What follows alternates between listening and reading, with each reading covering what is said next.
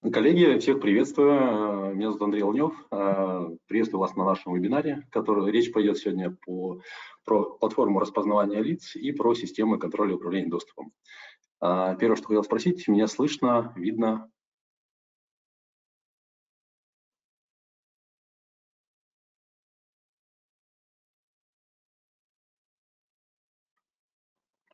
Отлично. Сегодняшнюю презентацию будет э, вести Сергей Киртычный, генеральный директор компании «Технозрение». Он является разработчиком данной платформы и максимально коротко и полезно все расскажет. За информацией по поводу данного продукта можете обращаться в отдел Mobotics, либо ко мне, либо к Дмитрию Чернову. Также прошу вас задавать вопросы в ходе презентации. Сергей, тебе слово. Здравствуйте всем, я тоже рад вас всех здесь приветствовать. Надеюсь, меня тоже все слышат и видят мою презентацию. А, да, действительно, сегодня я хотел бы с вами, вернее, рассказать про наш продукт, а, который называется PaSystem. Это интеграционная платформа доступа с использованием технологии распознавания лиц. А, начну, наверное, небольшого представления, э, что мы за компания, почему нас стоит слушать и почему мы имеем там э, те или иные компетенции в скудах и в софте и так далее. А, наша команда состоит из... Э, это группа компаний, в которые входит несколько, и у каждой из компаний и у отдельных людей есть компетенции, которые это все и составляют. То есть это 20-летний опыт интеграции в системы безопасности, то есть это любые системы, которые туда входят, это и контроль доступа, и видеонаблюдение, и периметральные системы, и так далее, и так далее, и так далее. То есть это очень такой глобальный опыт. А, около 15 лет одна из групп компаний занимается созданием высоконагруженного и отказоустойчивого софта для компаний в рынке телекомы. Это компания Связьком, компания Мобилфон туда тоже входит. Э, они разрабатывают довольно-таки сложные системы. Ну и, собственно говоря, а, я это человек, который уже довольно долгое время занимается внедрением проектных решений различного уровня в больших э, корпорациях и не только, и довольно на это делал. А, ну, теперь расскажу про архитектуру нашего решения – а, что это такое, из чего оно состоит. А, вот как вы видите на этом слайде, если посмотреть на его правую часть, это довольно сложная такая штука, и э, здесь очень много различных модулей и, и взаимодействия между ними. Но по факту это четыре части. Это сервис распознавания лиц, сервис интеграции со скудом, интеграции с базами данных и сервис визуализации. Я сейчас очень довольно коротко расскажу про каждый из них, что он составляет и что из них каждый делает. А, саму систему распознавания лиц э, мы используем не собственной разработки, э, мы используем э, математику решения от компании Vision Labs, а, так как считаем их на данный момент одним из самых лучших поставщиков математи... ну, именно математики распознавания лиц. Это не только наше мнение, это, это мнение различных компетентных институтов типа НИСТа или еще каких-то, и э, мнение компаний с рынка, которые используют тоже такие решения. Это, к примеру, Сбербанк, МТС, э, Тинькофф банк, в общем, довольно много больших э, компаний, которые с ними сотрудничают и поэтому мы с ними тоже в том числе идем как с технологическим партнером. А, там сервис интеграции со скудами – это уже наши прямые компетенции. А, мы умеем и интегрируемся а, с топовыми производителями систем контроля управления доступа. Делаем это различными способами, как программными, так и аппаратными. Вот на данный момент, к примеру, у нас есть программная интеграция по протоколу ONVIF, а, с производителями а, систем контроля доступа Parsec и Elsys. А, на стадии разработки сейчас находится компания Росгард, компания Перка, компания Сигур и Супрема. на данный момент вот эти организации с нами тоже находятся в разработке именно программной интеграции. Ну и в том числе у нас есть еще и аппаратная интеграция. А, это устройство, которое а, мы самостоятельно спроектировали, э, разработали и, собственно говоря, там, сделали как устройством. Это преобразователь интерфейсов, э, который преобразует э, сигнал из IP в сигнал Vigant, который понимает сами системы контроля доступа. То есть это для них то, то самое число, которым они оперируют для принятия решения по открытию исполнительных устройств. Ну и наряду с этим у нас есть э, довольно большой опыт интеграции с, э, с базами данных различного уровня. А если говорить про какие-то предприятия, то это интеграция с 1С ЗУПом, э, это заводы управления, это с кадровыми системами, а интеграция с ТС, интеграция обсуждалась, вот, ну, думаю, что скоро начнется с, с компанией Usoft, которая а, у вас сейчас используется как сервис доступа к печати. То есть это тоже наши компетенции, мы это понимаем, как делать. А, и э, а, собираемся использовать это в нашем решении. Ну и во главе всего этого дела, естественно, это сервис визуализации, это веб-интерфейс. Это довольно важная история, потому что на данный момент предприятиях и компаниях различного уровня используется довольно много различных систем, и у каждого из них э, есть какой-то свой интерфейс, свое приложение или еще что-то, и довольно неудобно пользоваться всем этим разом. То есть приходится переключаться, нет никакого прямого взаимодействия между этими системами, очень сложно создавать какие-то рациональные отчеты или управлять различными системами. И, естественно, по логичным решениям всех этих проблем является там какой-то единый дашборд. А, и мы думаем, что этим дашбордом нам там хочется верить в это, чтобы этим дашбордом стали мы как раз э, с нашим веб-интерфейсом, где можно будет делать и отчеты, где можно будет рассматривать э, сквозные интеграции между различными системами, различными базами данными, различными системами контроля управления доступом, которые могут находиться в рамках э, одного предприятия, а, и всем этим управлять с одного монитора. Вот. То есть мы в, в нашем интерфейсе как раз-таки собираем всю необходимую информацию как раз-таки и со скудов, и с различных других баз данных, а, и делаем это визуализационно красиво, наверное, так это можно сказать, а, и информативно. Причем эта информативность, она заключается не только, что это, это веб-интерфейс, мы его еще делаем э, удобно для пользователя, то есть это так называемый user-friendly интерфейс, э, который в том числе может быть э, доработан, изменен под определенные требования заказчика, так как мы самостоятельно его разрабатываем, мы его можем видоизменить, э, вплоть до того, что покрасить его там в цвета или там сделать дополнительные какие-то э, поля в него внести или сделать дополнительную какую-то отчетность или еще что-то сделать. Ну вот еще мы гордимся такой, такой штукой, как э, так называемый маппинг. Это история, когда на карте, на цифровой карте а, предприятия или компании можно отследить, э, кто как ходил, где он в онлайне находится, там сколько людей находится в тот или иной момент э, в здании. Это довольно удобная штука не только в рамках безопасности, но и в рамках повышения там, эффективности предприятия. А, то есть можно, благодаря этой информации, можно составлять э, отчеты по там, эффективности передвижения сотрудников, по в рамках предприятия и, к примеру, пересаживать людей, там, я не знаю, там, ну, или там сделать так, чтобы эти люди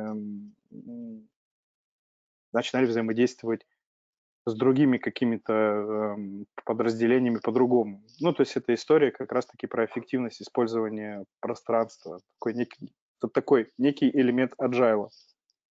А, и в итоге все, из всего этого мы получаем PEMP интерфейс, э, который дает нам единый мониторинг безопасности на предприятии и позволяет э, создать некую, получается, метрику для аналитики эффективности э, сотрудников. А, вот так. Тут на этом слайде я бы хотел вам рассказать, э, где и в каких вообще предприятиях или отраслях там, рынка эти истории могут пригодиться или где они уже прям нужны по каким-то причинам. А, то есть на этом слайде я не буду там рассказывать про каждое постановление правительства.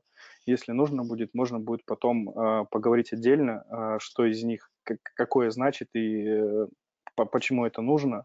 Но здесь видно, что их довольно много, и каждое из этих постановлений правительства так или иначе регламентирует установку биометрических э, систем контроля. А, если вот, допустим, взять по промышленные предприятия, я вот здесь указал э, постановление правительства 485. Это постановление правительства для топливно-энергетического комплекса. А, и в этом постановлении правительства прям регламентировано, сделано таким образом, чтобы на предприятиях этого, этого комплекса были двухфакторная идентификация. Это обозначает, что должна быть, к примеру, и карта, и еще какой-то биометрический признак, какая-то идентичность. То есть либо это распознавание лиц, или это отпечаток пальца, отпечаток ладони, там сетчатки глаз, ну, глаз или еще чего-то. Это позволяет как раз-таки разговаривать с заказчиком о том, что э, им нужно и необходимо это внедрять. Они за это получают, возможно, какие-то штрафы или предписания какие-то. А, это такой повод для разговора, а давайте посмотрим, как это можно сделать э, в рамках системы распознавания лиц. А, на спортивных объектах все то же самое. На объектах э, транспортной инфраструктуры, там вот вообще видите, их очень много, они разделены, то есть есть отдельные постановления для метро, отдельные для аэропортов, отдельные для автовокзалов, ЖД-вокзалов и так далее. Все это есть, это а, клиентам необходимо, они эти решения ищут, э, и, собственно говоря, оперировать этими постановлениями можно в том числе в переговорах или каких-то первых обращениях э, к этому клиенту. А, в рамках образовательных учреждений э, здесь нет прямых постановлений правительства, есть такое некое условие, которое называется паспорт безопасности, э, который заставляет делать определенные системы видеонаблюдения аналитические и обязывает устанавливать системы контроля доступа, но не регламентирует, какие именно. То есть э, я чуть дальше покажу один из кейсов, который мы делали ну, в рамках образования, что мы там сделали – и, и почему мы это сделали, и почему это можно делать дальше там, в рамках образовательных учреждений. Ну, в общем и, целом, если посмотреть, то индустрия применения по продукту захватывает практически все рынки, э, все сферы, э, и, и везде это можно использовать. А, главное, чтобы применять, как это можно и для чего это нужно самому предприятию, ну, тут уже лучше, наверное, находиться в стадии переговоров, чтобы задавать конкретные какие-то вопросы. Вот. А, сейчас я хочу э, сделать небольшой такой там интерактивчик, э, в котором я попрошу вас сделать ответы. А, мы сейчас с вами попробуем такой слайд, мы попробуем победить алгоритм распознавания лиц. А, посмотрим, у кого это получится и насколько это вообще, в принципе, возможно. А, на вот этом слайде находится 6 пар людей. А, я прошу вас э, попробовать угадать, э, кто из этих людей э, действительно идентичны друг другу. Ну, допустим, на слайде один это один и тот же человек, на слайде два это один и тот же человек, ну и так далее. Давайте я дам вам минут две, наверное. Посмотрим, у кого это получится.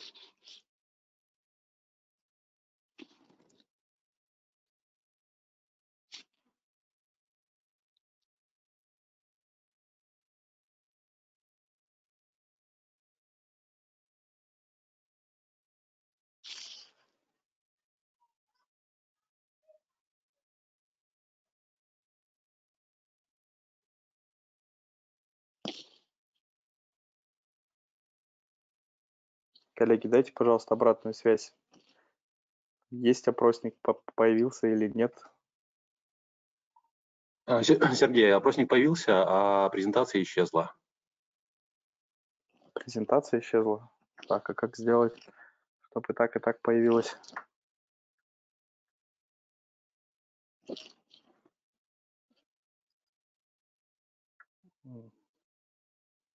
Теперь опросника нет, да? И презентации нет.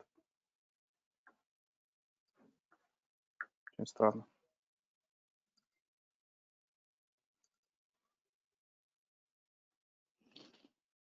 Так. Презентацию видно, опросник остался?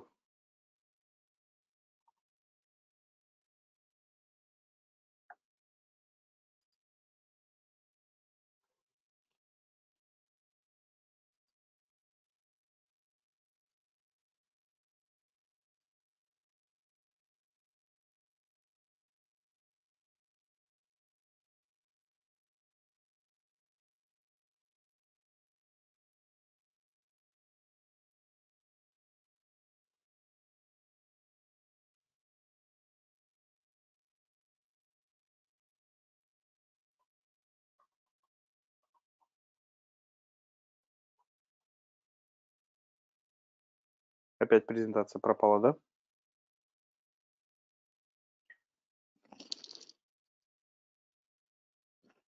Коллеги, Андрей, подскажи, что происходит? Да, Сергей, э, можно переходить к следующему слайду, где ты расскажешь, где одни и те же люди, а где разные. Видимо, у нас ну, есть какие-то технические неполадки. Ну, давайте, хорошо. Э, я думаю, там все запомнили, какие ответы вы выбирали. Так, опять исчезла презентация.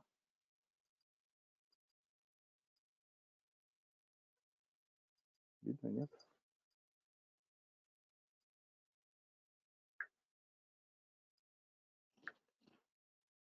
Что ж такое?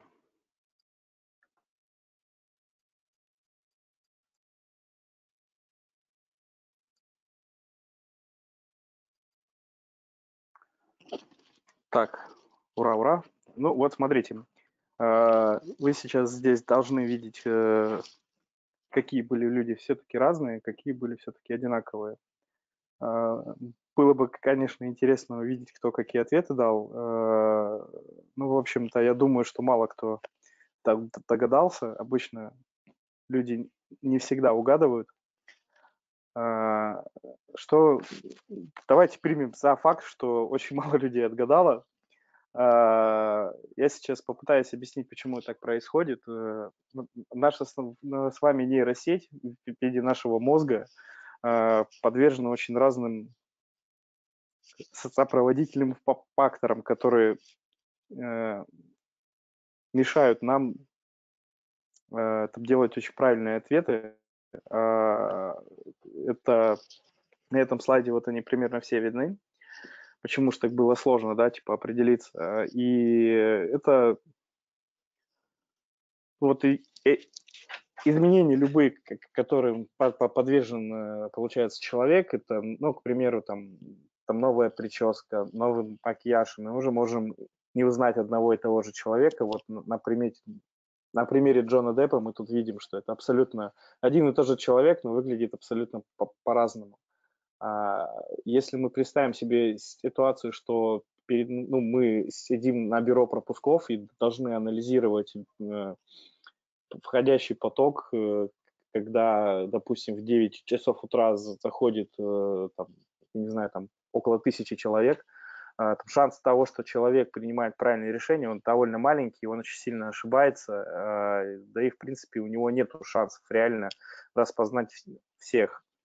А, поэтому и внедряется технология распознавания лиц, это в том числе мы таким образом убираем именно человеческий фактор ошибки.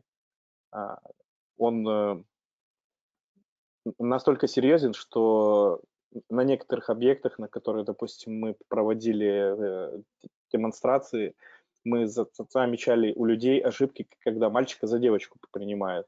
Ну или вообще там, ну, в принципе, абсолютно разные, ну, ну, ну получается, люди проходят по карте абсолютно другого человека. Ну, это вообще недопустимо в рамках э, системы контроля управления доступа. Поэтому и появились такие технологии. Вот. А, на этом слайде я хотел немножко похвастаться, рассказать про нашу историю успеха. У нас есть э, два проекта довольно крупных и серьезных, которые мы реализовали за 2019 и реализуем в течение еще 2020 года. А, здесь как раз два разных кейса. А, первый кейс – это система контроля управления доступом прямо на предприятии. Это Красноярский завод цветных металлов мы уже находимся на четвертом этапе масштабирования системы, и на каждом этом этапе мы расширяемся не только в качестве а, использования различных точек доступа, но мы расширяемся в том числе и в использовании самой технологии в различных системах. А, началась э, вся история на крас цвет мети, она началась с с того, что мы э, стали э, увольнять систему э, распознавания пальцев и внедрять систему распознавания лиц. Увольняли мы идентификацию пальцев по одной простой причине, потому что эта система на больших данных, когда в базе находится больше 10 тысяч лиц, она начинает довольно часто поположнить. А, есть в системах контрольного доступа есть такие понятия, как ошибка первого и второго рода. А, эти понятия говорят о том, что а человека вообще, к примеру, не пускает, но он есть в базе данных. Это ошибка второго рода. Ошибка первого рода – это когда человека пускает все-таки на территорию предприятия, но пускает его под другим именем. Ну, то есть ошибается – прикладываю палец я, а распознается как кто-то другой. А, и уже второй человек может не попасть на предприятие или не выйти из предприятия по определенным причинам, именно технологическим и организационным. А, поэтому было принято решение а, по замене этого идентификатора на лицо. Начали мы эту историю в 2018 году. Начали мы с пилотирования. А, то есть мы, допад...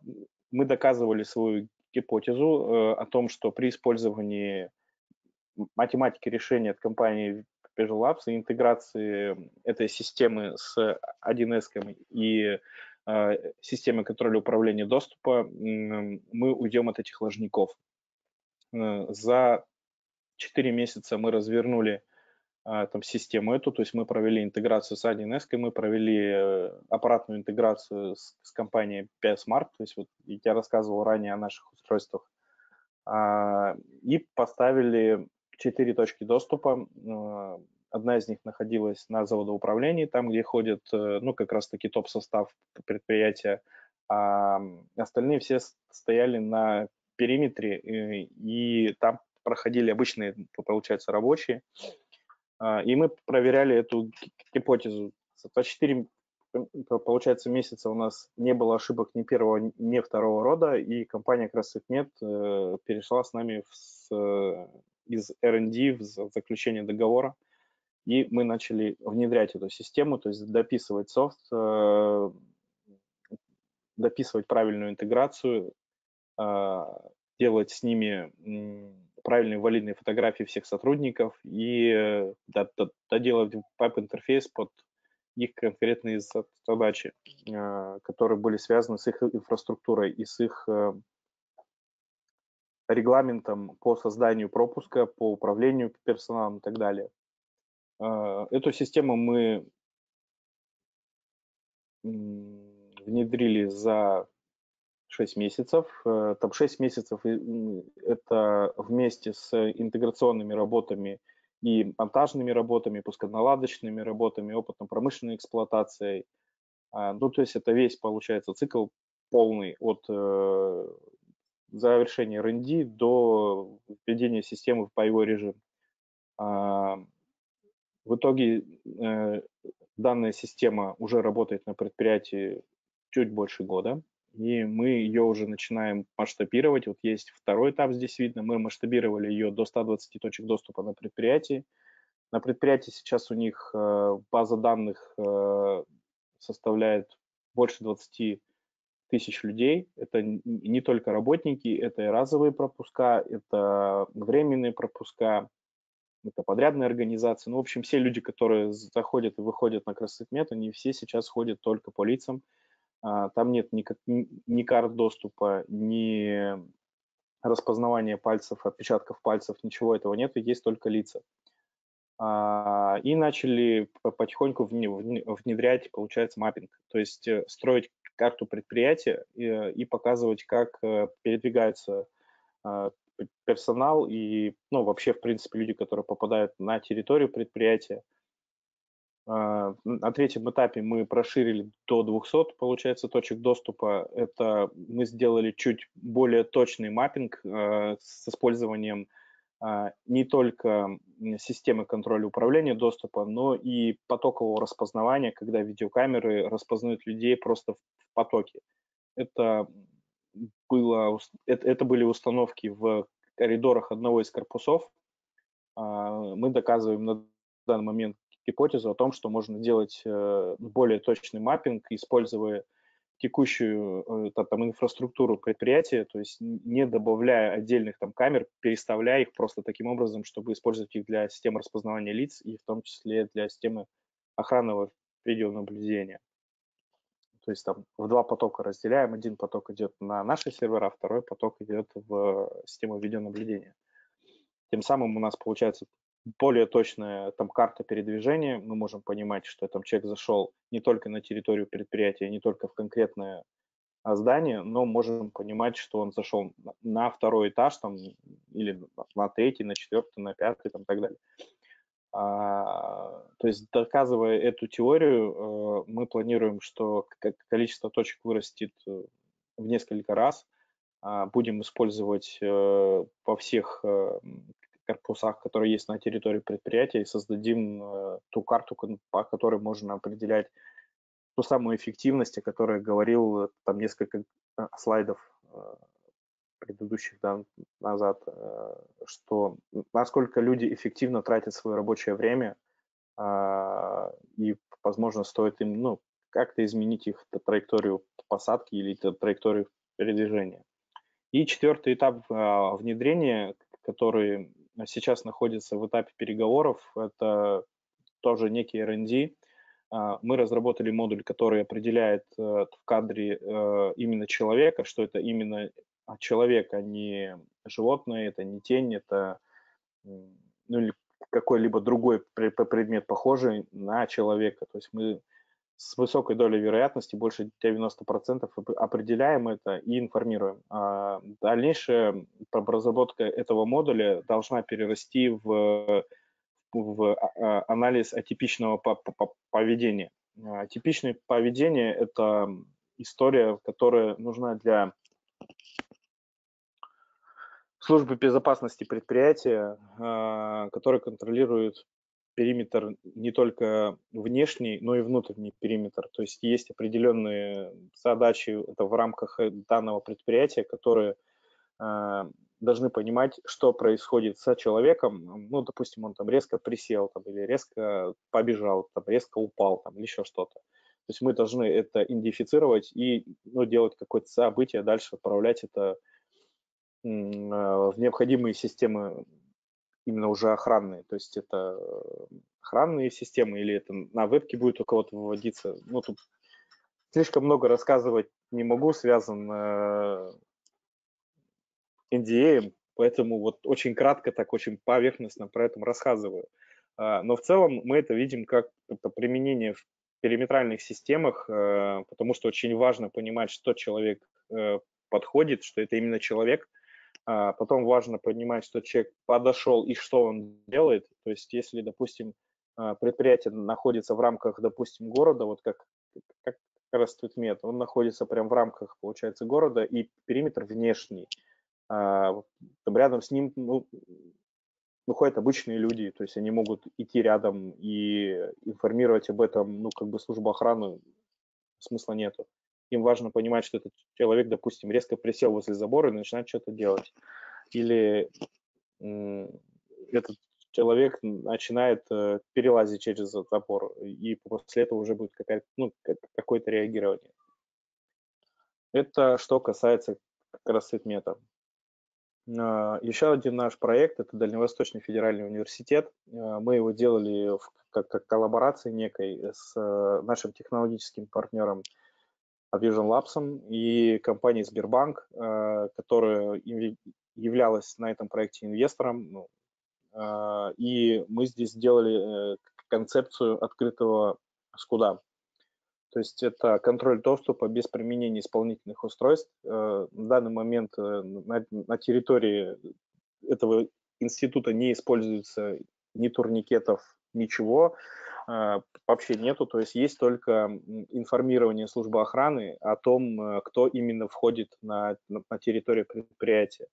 А, когда мы это делали, мы проводили с ними опросы, и, собственно говоря, у института всего лишь там четыре пункта нужно было им знать о людях, которые проходят на их территорию, кто это, то есть фамилия, имя, отчество, а, маршрут передвижения по территории, ну, либо кампуса, либо в нашем случае, как конкретно, это по корпусам, где они ходят, а, их назначение, зачем они сюда пришли, а, и кто, собственно, согласовал им этот пропуск.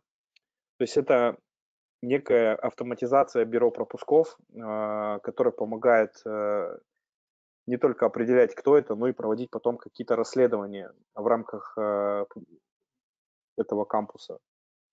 Потому что сам кампус – это не режимное предприятие, это объект, на, на который доступ открыт практически всем. А, и у людей не должно возникать там сложности для того, чтобы войти на, это, на, на территорию. Поэтому было принято вот такое решение. Мы установили там 100 камер по 8 корпусам и переходам. А, и благодаря этому на данный момент служба охраны, там сделан ситуационный центр, она за этим следит. Э, у службы охраны есть информация, а, кто входит э, на, на территорию, получается, корпуса, а, там, как он дальше передвигается, то есть если он попадает под какие-то там сомнения или ну, что-то с ним происходит, ну, не то, у охраны есть маршрут передвижения, они могут его найти очень быстро в, а, а, в режиме онлайн, посмотреть, где он последний раз был, и отправить туда уже каких-то охранников, которые будут с ним проводить какие-то действия. А, вторым этапом э, на этом объекте э, мы рассматриваем э, проектирование и модернизацию бюро пропусков, о которых мы вам говорим. Это уже интеграция с 1С системой. Это там есть некие а, показатели, именно KPI у, у преподавателей, это, к примеру, посещаемость уроков э, порталом ТФУ, то есть это использование внутренних сервисов э, самого, получается, кампуса, это оплата питания, это выдача какого-то дедуктивного материалов, ну, каких-то книг, я не знаю, там, э, каких-то методичек и так далее, посещение бассейнов, а, есть еще история такая, как электронный э, студенческий билет. Э, там тоже довольно обширное, ну, получается, поле для работы. И мы сейчас находимся там в стадии переговоров с э, там, институтом, как им это нужно сделать, как это будет продуктивно для них. А, и вот этот второй этап, я надеюсь, будет начат в этом году, ну, ну или в следующем из-за коронавируса пока ничего не понятно, что с этим происходит. Это вот из истории успеха то, что мне то, что я могу вам рассказать, и то, что мне хотелось рассказать, что вот такие штуки мы делаем, так это можно использовать э, в рамках э, любой компании, любого кампусного проекта. Это must-have, в принципе, для всех. А, на этом слайде, ну, здесь вот как раз описаны, какие цели мы преследуем, э, внедряя данную платформу. А, о некоторых я вам уже рассказал. А, вот я говорил на одном из слайдов, где говорил про, про индустрии, я говорил про двухфакторную идентификацию. Это в режимных предприятиях, где прям есть забор, колючка и охрана, это очень важная история. То есть это какие-то предприятия либо секретные, либо это предприятия, которые работают на Министерство обороны, к примеру. Для них это тоже очень важно. Да даже ну, тот же тот топливно-энергетический комплекс тоже говорил, для них это тоже важно. А, здесь идет проверка не только сопоставление двух модальностей человека, то есть это карта и лицо, но еще и проверка на фальшивки всякие разные. То есть, э, ну, к примеру, может быть э, распечатана фотография на, на листочке и, и э, спарованная карта, и в теории можно пройти. Э, у нас есть такой модуль, который называется лайфность. Э, этим модулем мы отсекаем все возможные подделки. Это распечатанная фотография, это изображение на экране смартфона, планшета, монитора или еще чего-либо. То есть любые цифровые носители, которые могут быть использованы, эта система понимает, что это ложное, история, и еще и информирует об этом службу охраны, что вот на данной точке происходит такое проникновение. Здесь также есть показатель, э, это вывод системы учета рабочего времени на показатели окупаемости. Здесь мне нужно рассказать более подробную историю. Э, учет рабочего времени, по большому счету, это одна из э, статей, а, расходов на предприятии, которые очень сложно оценивать. Потому что карты доступа, ну, к примеру, в основном они везде применяются, они передаются, они теряются, их можно украсть, их можно клонировать, то есть очень много каких-то факторов внешних, из-за которых э, учет рабочего времени не всегда является объективным. А, есть история, которую мне разрешили рассказывать на предприятии э, там, группы компаний «Русал», одном из, работает 5000 э, сотрудников. А, и у них есть э, такой кейс, что люди опаздывают на работу и уходят раньше с работы. А, мы провели там некие маркетинговые исследования, взяли открытые данные по этим исследованиям каким-то, а, и сопоставили с затратами этого предприятия. А, если будет интересно, как мы это делали, я потом отдельно вышлю, там, ну, там прям целые формулы. А, в общем, получилось таким образом, что если люди опаздывают на работу на один час и уходят с работы на один, один час раньше, то предприятие в 5 тысяч лиц в год э, несет убытков на 40 миллионов рублей. Это довольно существенная сумма за год, а, и благодаря системе распознавания лиц, которые, с которой невозможно договориться и которой невозможно обмануть, эти затраты можно окупать а, в долгосрочной именно перспективе. То есть а, мы говорим о том, что теоретически система учета рабочего времени может выйти на показатель окупаемости. А, ну и также я рассказывал про систему, получается, маппинга, которая позволяет э, смотреть за, за эффективностью. Это вот сбор данных для оптимизации перемещения, повышения удовлетворенности сотрудников. Это говорит о том, что сотрудникам не нужно таскать с собой различные идентификаторы, карты какие-то, которые можно забыть, лицо забыть невозможно, потерять его тоже сложно, а, и украсть тоже вообще никак. Вот. Ну, вот такие вот статьи доходов могут быть на предприятии э, при использовании систем распознавания лиц. Э, я уже говорил про окупаемость э, в рамках учета рабочего времени. Э, также на некоторых предприятиях есть история, когда у подрядных организаций жестко регламентированная э, зоны работ.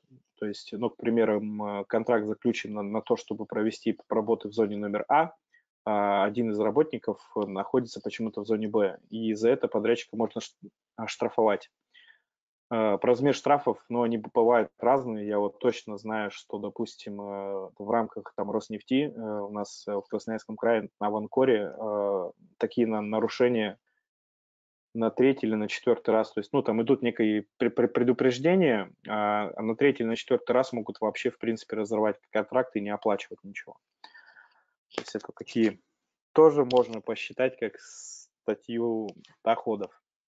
Ну и в долгосрочной перспективе а, это уход от карт, э, автоматизация бюро пропусков э, и как следствие это сокращение фонда оплаты труда на охранниках, фонда оплаты труда на сотрудниках бюро пропусков, ну и различных каких-то других сотрудников, э, которые будут условно уволены или сокращены благодаря внедрению системы автоматизации.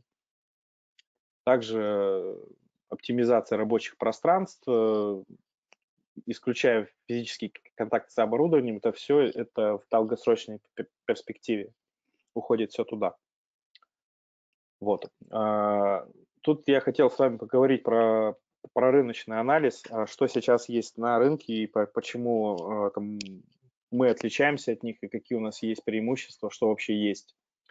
На рынке сейчас есть э, на самом деле всего лишь три варианта. Это вот э, здесь они показаны. Это использование каких-то модулей в МС-системах, использование аппаратных устройств, которых уже большое количество появилось.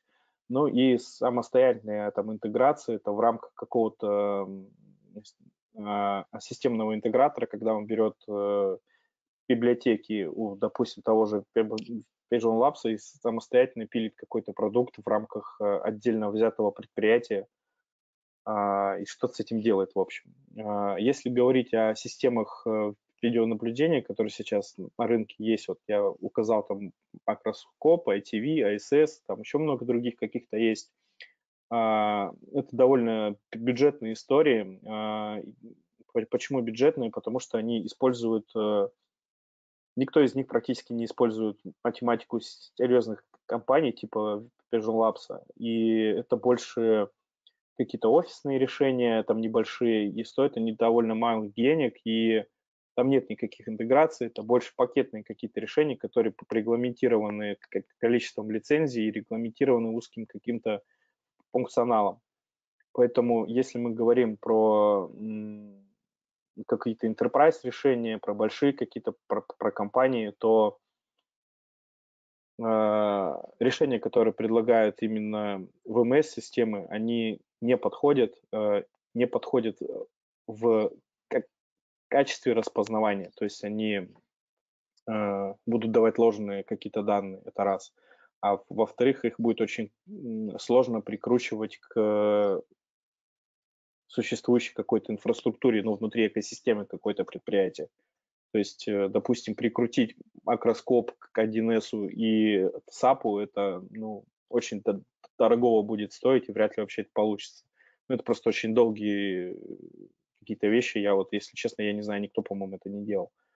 Ну и в том числе мы, допустим, спрашивали у одного из наших клиентов, у Красотмета, почему они это выбрали нас, они там пошли системами э, видеонаблюдения. А, они нам рассказали о том, что они пытались это сделать, а, и по итогу получалась у них такая история, что вот, что макроскоп, что ITV, что ISS, э, все эти модули не подходили под их параметры по, по качеству распознавания, это раз. Но и самое главное, они предлагают количество лицензий канально, и потом еще и предлагают лицензии там серверные, а, переход э, к этим лицензиям подразумевает э, по покупку больших там серверов огромных дополнительных, а, увеличение самой системы видеонаблюдения. А, ну, в общем, там количество затрат очень высокое и непонятный ну, как бы результат по итогу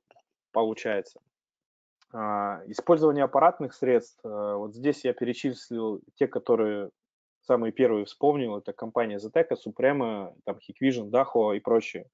А, все это возможно, оно все более-менее неплохо работает, но это опять-таки без э, каких-либо интеграций, без каких-то либо сложных систем, э, и это очень узконаправленная история. То есть если покупать там, допустим, э, там терминалы распознавания лиц от Zetec, то а, все распознавание, все, весь веб-интерфейс, все находится в рамках ZTTEC, и ничего больше вообще применять туда не получится никаким образом. У них нету этого такого функционала. Вот. А, про третье уже рассказал, про интеграцию с открытыми библиотеками, либо покупание, ну, либо покупка библиотек у каких-то вендоров, а, которые предоставляют математику распознавания лиц, это отдельная история, то есть это нужно интегратору что-то самому писать, это отдельная разработка, и поверьте нам, это довольно долгий и сложный процесс, потому что мы его прошли. А, ну и, собственно говоря, на фоне всего этого вот основные наши преимущества – это кроссплатформенность, то есть э, использовать возможные э, различные решения, во-первых, э, в рамках видеоаналитики, то есть использование различных нейросетей. То есть мы можем использовать не только аналитику Vision Labs, мы можем использовать и другие аналитики. У нас платформа умеет работать с многими системами, а, какими не могу раскрывать, опять-таки связанные DM, но эта возможность есть. А, возможность э, встройки в существующую экосистему компании, про это я уже в рамках всего, наверное, этого вебинара уже много раз я рассказал, что можно интегрироваться с чем угодно и как угодно. Ну, про нас великий опыт про работы и построения высоконагруженных и отказоустойчивых систем э, я тоже рассказывал в самом начале, и это очень важная история, потому что все софтверные решения, которые управляют доступом, это прямая безопасность и прямые деньги предприятия, оно должно работать безотказно, оно не должно не ломаться, не падать. Мы систему умеем делать и доказываем это. И у нас там есть техническая поддержка, которая осуществляется 24 на 7. А, мы делаем правильный договор сопровождения и регламентируем э, ответ на любые изменения в софте. А, очень ну, по- по-разному. То есть договариваемся с конкретным заказчиком, как мы будем реагировать на, то или, на ту или иную проблему. Ну и возможность построения UX UI интерфейса, это тоже о чем я говорил, это очень важная история, чтобы интерфейс э, выглядел как единый дашборд, на котором удобно работать всем вот, в рамках предприятия, э, будь то инженер предприятия, или это рядовой сотрудник предприятия, или это руководитель предприятия, или это топ-состав предприятия. Ну, всем должно быть удобно в нем работать, и мы это делаем таким образом или можем подстроить это под заказчика таким образом, чтобы ему было там удобно работать. Вот. Тут я хотел бы немного пофантазировать, рассказать, что будет дальше, вообще какие есть тренды в системах э, распознавания и а, по подобных интеграционных платформах, что нас ждет дальше и как это может развиваться. А, есть э, такие тренды про, про железо, давайте назовем его так. То есть это и о чем здесь я хотел рассказать, что в данный момент уже выпускается, допустим, компанией Mobotix выпущена камера, на которых есть э, процессоры обработки, и они тоже модернизируются, то есть в ближайшем будущем уже и в самих там камерах будет половина того, о чем я сегодня вам рассказывал.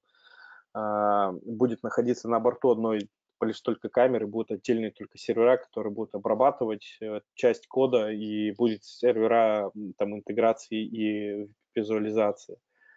А, будет возрастать необходимость специализированных вычислителях. Это, это говорит о том, что будет все мощнее и мощнее компьютеры, и, э, допустим, одного будет компа хватать на, или одного там сервера будет хватать на обработку не только одного видеопотока с одного там завода, а будет хватать одного сервера на обработку с множеством заводов, допустим, если это мы говорим про предприятия, которые это входят в группы компаний, в холдинги, организации какие-то крупные, большие, где там много заводов, там огромное количество людей работать. А, ну и технологические компании тоже не стоят на месте, и Google, и Amazon, и все большие вот эти предприятия, они э, все тоже идут в эту сторону, у них все тоже развивается аналитика, и развивается и система распознавания лиц, и в целом аналитика развивается. А, то есть на данный момент есть э, разработки, которые уже а, распознают человека по его образу, то есть это, это некий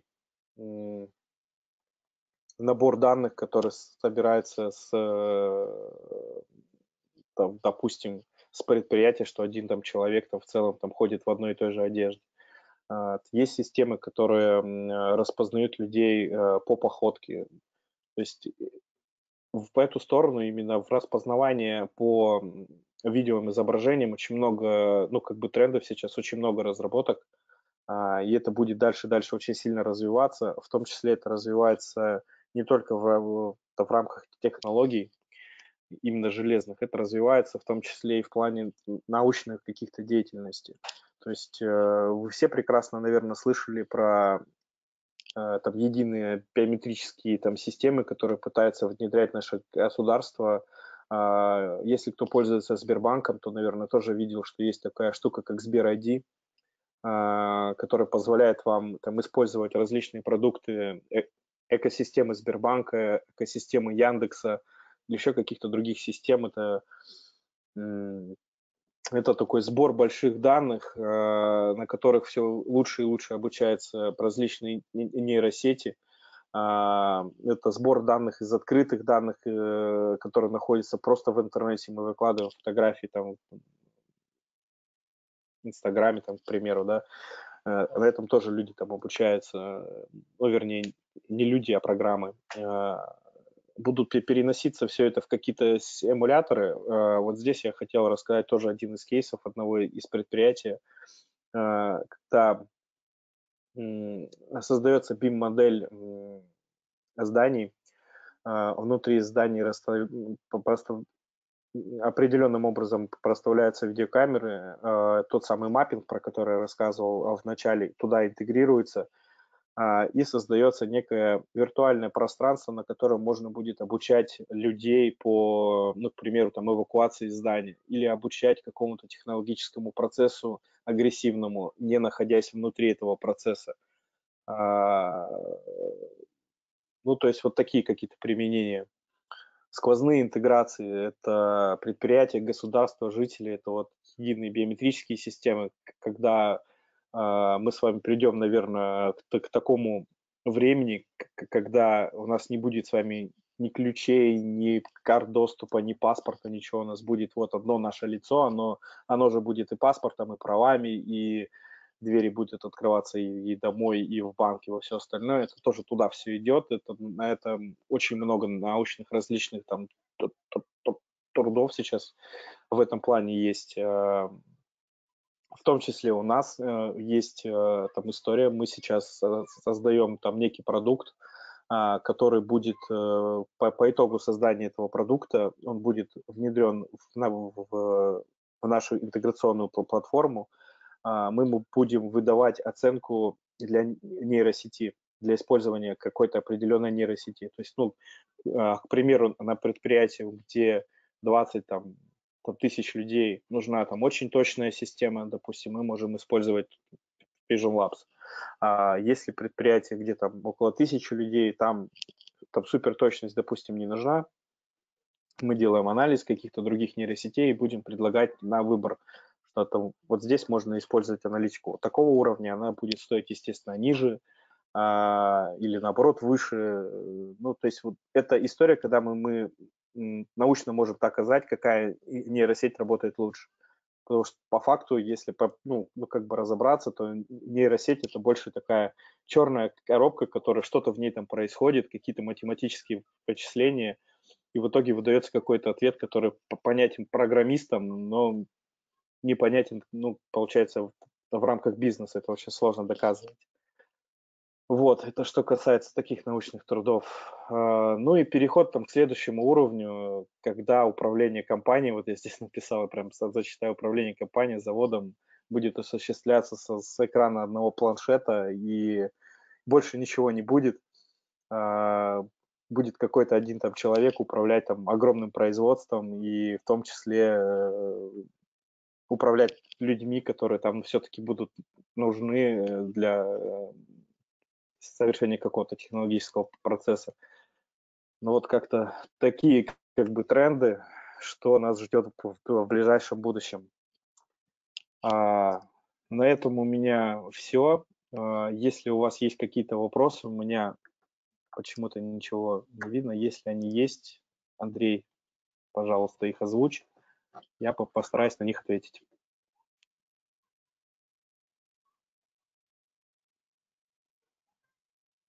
Андрей. Да, Сергей, секунду. Сейчас зачитаю некоторые вопросы. Какова скорость э, обработки сигнала от момента распознавания до момента выдачи команды на действие триггера, шлагбаум, турникет и тому подобное? Спрашивает Николай Рыков. Николай, от, от, отвечу так, от 1 до 2 секунд, э, в зависимости от э, количества интеграционных связей и, и различных вариантах применения. Э, то есть, если мы говорим о том, что система будет работать, ну, к примеру, без модуля лайфности, то это будет до 1 секунды. Если с модулем лайфности, то это может быть до 2 секунд. А какие базы данных вы рекомендуете использовать для качественной работы? Не совсем понятен вопрос. Э, я бы отдельно на него подискутировал, что именно, какие базы данных имеются в виду.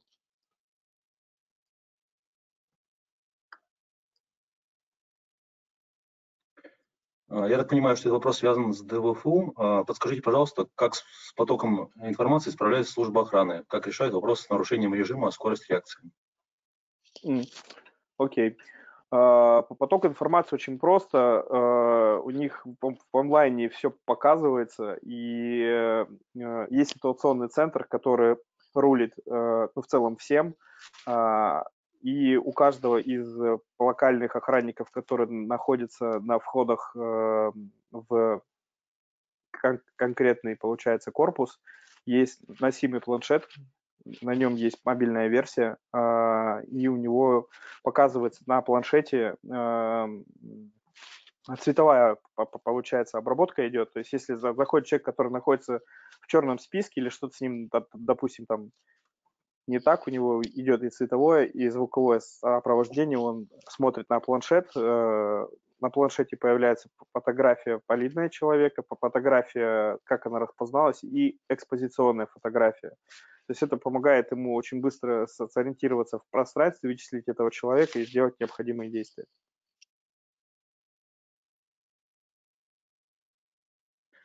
Следующий вопрос. А, вы используете Luna SDK, не так ли? А как насчет обновления на стороне клиента, когда обновляются библиотеки SDK от Vision Labs? А, нет, мы не используем SDK, мы работаем на платформе. А, обновление – это такая история платная. То есть э, в рамках первого года, когда, ну, получается, система продана, все, что обновляется у Vision Labs, мы обновляем в том числе. А, дальше есть такая штука, как э, техническая поддержка. Она э, стоит 25% от стоимости э, именно софтверного решения.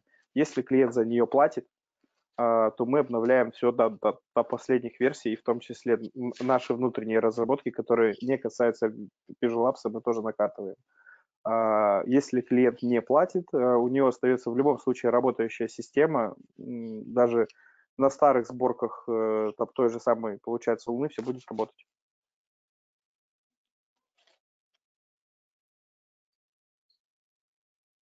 Вы поставляете только софт или все под ключ вместе с сервером?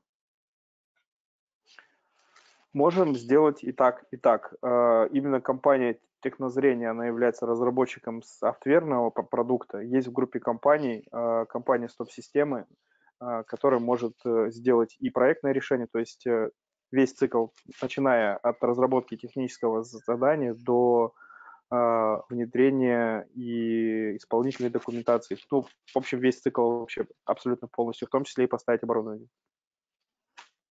А, следующий вопрос. Хранятся ли где-то фото, используемые для идентификации? В каком формате и разрешение растра? Да, хранятся, они хранятся на сервере распознавания, создается база данных фотографий валидных и, естественно, хранятся данные э, по тому, как распознала да, человека. То есть э, фотография, которая пришла с видеокамеры обычной. А, с видеокамеры обычно они хранятся в JPEG, по-моему, насколько я помню. А, их разрешение точно сказать не смогу. Могу себе записать, если нужно будет, чуть позже скажу. А, валидные фотографии, они ну, по разрешениям не меньше 100 килобайт. Есть у нас есть прям а, а, определенный регламент, как должна выглядеть валидная фотография для качественного распознавания. А, чем она лучше, тем, собственно говоря, лучше будет эффект от распознавания.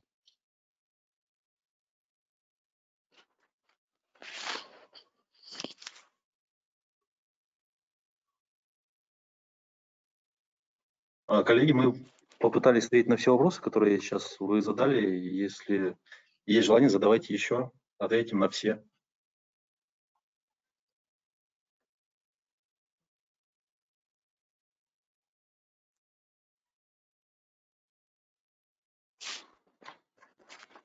Ну или можете мне написать, если чуть попозже возникнут вопросы, пишите в почту, звоните на телефон. Всегда готов ответить, помочь разобраться без проблем. Да, коллеги, раз вопросов нет, спасибо большое за потраченный час, спасибо большое за внимание. Надеюсь, что э, в перспективе у нас будет много совместных проектов с компанией Технозрения. Вообще вопросики есть, если честно, там появились сразу четыре в 15.01. Угу. Если есть возможность ответить, это Алексей Лукинчук. Да, да, да, давайте, хорошо. Какие минимальные требования к серверам хранения? Как долго хранятся данные, спрашивает Юлия Сергеева. А, ну, смотрите, данные, которые будут храниться, это маленькие фотографии, небольшие, и, а, собственно говоря, математическая модель лица. Это данные очень маленькие. А, ну вот, к примеру, тот же объект Дальневосточного федерального университета, там 100 терабайт, э, проект работает уже год и нагруженность процентов 20. К серверам, ну, для хранения там больших мощностей вообще не нужно. Если про там, видеообработку, тут все в зависимости от э, масштабности системы. Э, если очень если очень кратко, очень получается кратко, то одно ядро Xeon и графические карты примерно NVIDIA 2080. А, количество видеокарт, но в зависимости от количества использованных каналов. Так, следующий можно вопрос как? Да, да. Тимур Керимбаев спрашивает, есть ли какое-либо обновление версий нейросети? Тимур, не совсем понятен вопрос. Это, наверное, больше вопрос э, к нейросети, это вопросы больше к Vision Labs. Они их обновляют, э, обновляют их э, с периодичностью раз, наверное, ну, наверное, в квартал, может, раз в два квартала обновления какие-то есть, но они не кардинальные, а, они чуть-чуть что-то допиливают. Быстрее обновляется там SDK, чуть попозже обновляется сама платформа. А там в рамках э, самого предприятия работоспособности этой системы э, ну, практически там ничего не меняется. Чуть-чуть увеличивается, ну, оптимизируется больше процессы. Сергей, еще вопрос от э, Артема Гордеева. Он спрашивает, насколько ухудшает распознавание аксессуары типа очков? А, Артем, если это очки не хамелеоны, то ничего страшного. Очки хамелеоны, они, да, ухудшают процесс распознавания. Обычные там очки, которые, ну, там солнечные, вообще никак не влияют платок, э, есть, э, ну, тут есть такой еще как бы, ну, нюанс, э, все в зависимости от порога, который нужен при распознавании. Ну вот, к примеру, если мы будем использовать там систему в, для контроля доступа, то само предприятие как говорит о определенном проценте. То есть, ну, ну к примеру, подходит а, какой-то человек к видеокамере, а, его там распознает, а, и система подает ответ, что этот человек на 92% похож на, допустим, на Андрея Лунева, да, а, и при, при этом условии он может пройти. Если подходит Андрей Лунев по, по лаклаве замотанный, э, у него сверху одеты, э, я не знаю, там капюшон и, и черные очки, то его, скорее всего, вообще не распознает. А если он подойдет, допустим, просто там в черных очках или у него будет закрыта половина лица, его может распознать там на 82%.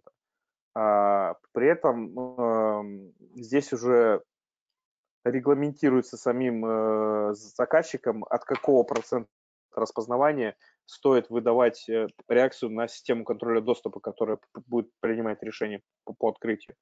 А, либо это будет ну, просто информирование там, службы охраны о том, что подошел там человек на 80% похожий на Андрея Лунева, и они что-то должны с этим сделать. Там. Ну, то есть это такая очень оперативная история. В целом аксессуары практически не влияют. Аксессуары, макияж, смена. Смена прически э, практически никак не влияет на процесс распознавания.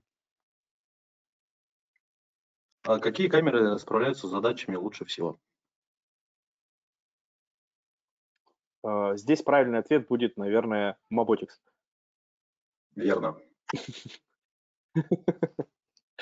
А, если честно, а, то вообще любые от 2 мегапикселей.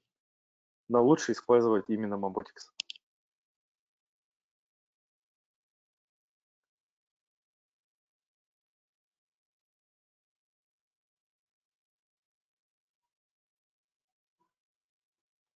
Так, еще вопросы были? Или есть? Или возникли? А, кстати, нужно еще сказать о том, что мы готовы на любые пилотные истории. А, если у вас есть заказчик, который, в принципе, интересуется системами распознавания лиц, э, будь то это системы контроля доступа или для каких-то вообще, в принципе, других своих это внутренних задач, а, мы готовы заниматься пилотированием, предоставляем его а, на какой-то процент бесплатно. Ну, то есть все в зависимости от задачи, естественно. Но в целом, если задача довольно нетривиальная, это просто показать, как работает там а, система распознавания лиц, а, сделать э, аппаратную интеграцию существующей системы контроля доступа на одном турникете, мы это все сделаем бесплатно.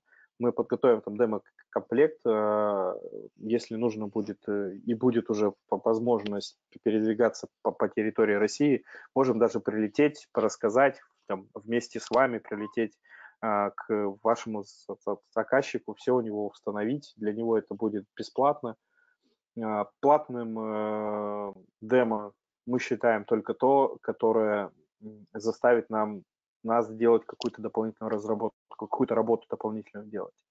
Но, к примеру, э, нужно будет доказать э, гипотезу о том, что мы сможем интегрироваться с какой-то некой системой. Ну, к примеру, там, я не знаю, доказать, что мы можем синтегрироваться с, со скудом от там Siemens или э, Bosch, допустим, да, такой интеграции у нас нет, а, она, скорее всего, будет платная от самого, получается, вендора, а, и тут тогда нужно обсуждать, каким образом мы это будем делать совместно, потому что это и для нас работа, это какие-то, получается, инвестиции в сам проект, и я думаю, что тут ну, как бы честно будет использовать в том числе деньги заказчика, если ему это нужно.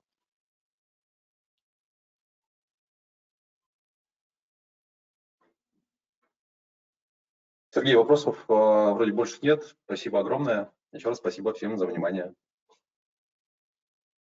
Да, спасибо всем тогда за внимание. Если будут возникать все-таки вопросы, пишите, позвоните либо в Маботикс, либо мне.